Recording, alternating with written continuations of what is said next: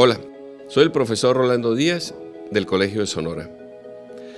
El 6 de agosto del 2014, la mina Buenavista del Cobre, propiedad del Grupo México, eh, tuvo un derrame en el río Bacanuchi, río Sonora, de 40.000 metros de lixiviado ácido. Este evento fue calificado como el peor desastre de la industria minera en el país.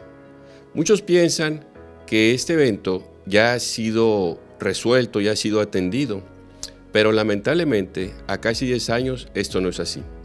En el taller Monitoreo de Desastres Ambientales de origen minero, vamos a revisar cuál es la situación actual de esta problemática.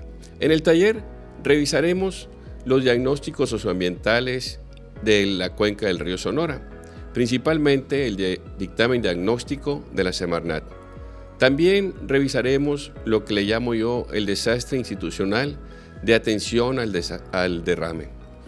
Analizaremos los actuales riesgos que hay en la cuenca del río Sonora por actividades mineras en aguas arriba, donde nace la cuenca. Toda esta información está en el Observatorio Río Sonora, que es una forma de monitoreo de la evolución del desastre. Para conocer de estos temas te invito al taller de 10 horas Monitoreo de Desastres Ambientales de Origen Minero. En este también te enseñaremos a utilizar la plataforma Observatorio Río Sonora.